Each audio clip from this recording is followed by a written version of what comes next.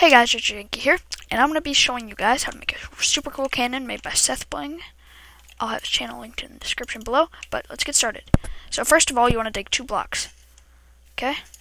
You want to put down a fence post here, fence post here, here, here, here.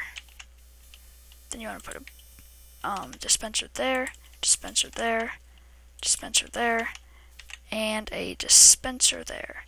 You want to put a button and a button, TNT, TNT, TNT, and TNT.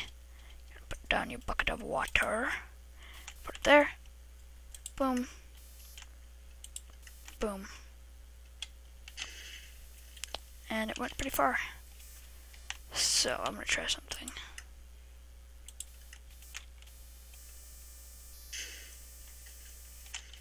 So as you can see, does not do any damage to you, which I'm actually quite surprised by that. Ooh. Well, that's it for this video. Don't forget to hit that like button and subscribe if you haven't already. Um, bye. See ya.